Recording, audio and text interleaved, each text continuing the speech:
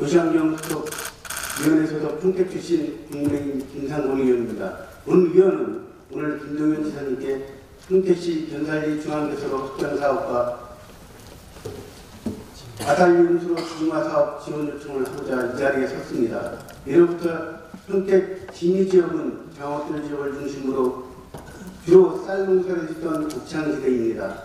이곳의 농경지는 수천 년 동안 항유로부터 유입된 토사가 쌓여 이루어진 충족토에서 매우 기름진 농토로 전통적으로 눈농사와 감농사가 주를 이루었으며 장어들은 조선 후기 남한 산성에 설치했던 수영원의 분정원이 있었다는 기록이 있는 것으로 봐 아주 오래전부터 국가에 개관된 것으로 보여집니다.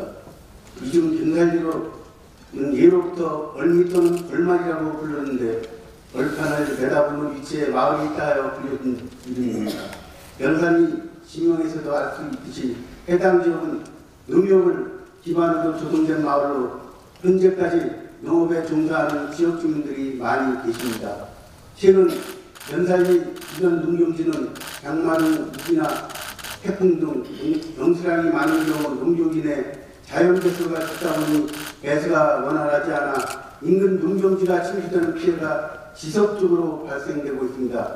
최근 5년간 농경지 침수 피해를 본 농가는 총 33가구로 침수용지가 9만 2천 제곱미터에 이르고 있으며 특히 20년에는 여름철 집중호우와 마이삭, 하이선, 태풍 영향으로 총 15가구 5만 3천 제곱미터가 침수되어 피해가 매우 컸습니다. 지난해에는 가을철 햇빛을 받아 이삭이 할 시기에 후일간 내린 비로 만수기가 있던 벼가 침몰되어 연굴치 못해 농민들은 애를 태웠습니다.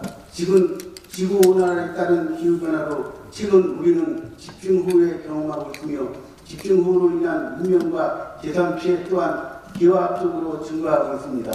집중 호우로 인한 농경지 침수 피해는 배수 개선 사업으로 충분히 예방할 수 있습니다. 그러나 연산지는 농경지 중앙을 관통하는 2.3km에 따르는 하북 중앙 배수로는 수비 좁고 배수로의 이익과 해족토로 배수가 원활하지 않아 상습적으로 농경지가 침수되고 있습니다. 하북 중앙 배수로는 후기 좁고 배수로의 매수 이익과 해족토로 배수가 원활하지 않아 상습적으로 농경지가 침수되고 있습니다. 주민들은 농어촌 공사에 매년 배수로 확장이 입장한 표치공사에 요구하였지만 예산이 없다는 이유로 봄철 겨우 중공 공사만 해주고 있어 상황에서 올해 해당 조기 수리시설 정비사업 예산으로 통변됨에 따라 교육을 받아 우선 일부 구간 공사에 실시할, 실시할 수 있게 되었습니다. 이 점에 대해서는 본 위원은 포함한 지역 주민들의 감사한 마음을 이 자리로도 전해드립니다.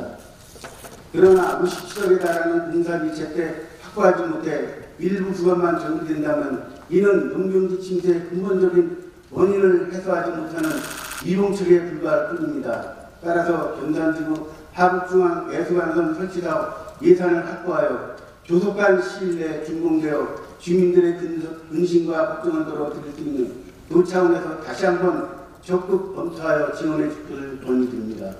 또한 인근 마살리 용수로는 준공된 지 50년이 지나 최근 안전점검 결과 노고화에 의해 콘트라 콘크리트 열화, 철근 노출, 반면 손신들, 지습한 도화로 지속적인 누수가 발생하고 있습니다. 최근 콘크리트 관람이 보조등으로 인한 낙하물 사고 예방을 위하여 주민 차량 통행 구간 안전 라인과 낙하물 경증망을 설치하였으나 이 역시 임금 조치로 근본적인 조치가 이루어지지 않고 있습니다. 지사님, 예로부터 농자 천하 지대본이라는 말이 있듯이 농촌의 생산성 향상을 위한 우리시설 개선은 필수적인 사항입니다. 부디 주세님께서는 농, 농민들의 애로사항을 헤아려 마음 편히 농민 농업 활동에 전념할 수 있도록 연산리 중앙개소 확장 공사와 마산리 노 용수로 지중화 사업에 조속히 추진될 수 있도록 그 차원에서 적극적으로 재정을 지원해 줄 것을 강력히 요청드립니다. 끝까지 경청해 주셔서 감사합니다.